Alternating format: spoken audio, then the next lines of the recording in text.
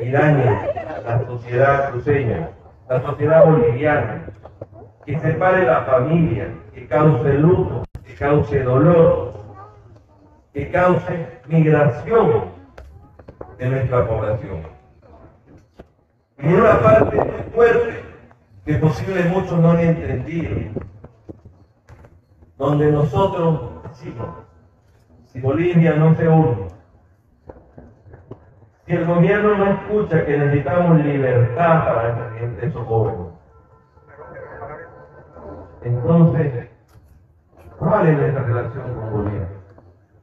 Tenemos que revisar, porque si tenemos, si allá el gobierno nos odia, nos desprecia, nos humilla, nos patea, nos hiere, nos encancela, ¿cuál es nuestro beneficio de la relación?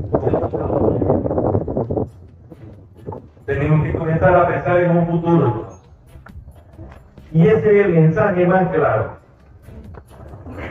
Que de 32 horas nosotros no recibimos el beneficio de la libertad de estos jóvenes.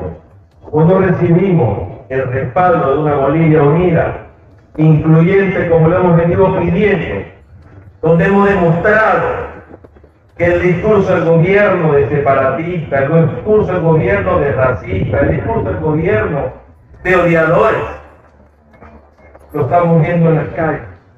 Estamos Santa Cruz, con Camba, Coya, Chapán, que viven, ya han hecho grande esta tierra, estamos peleando la lucha de los bolivianos.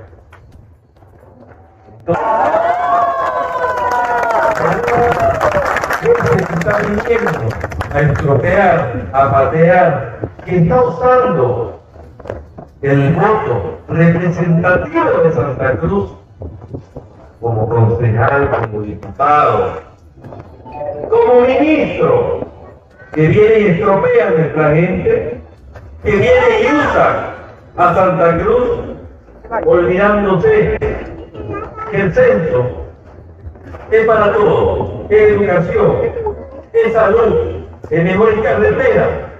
Todo eso debería estar defendiera estropeando a la gente, está trayendo que la partido político, está destruyendo a la gente, está destruyendo esa gente, los bienes colectivos. Esa gente, de verdad, tenemos que nosotros demostrar ¡Que renuncie todo! Le está haciendo más daño a Santa Cruz.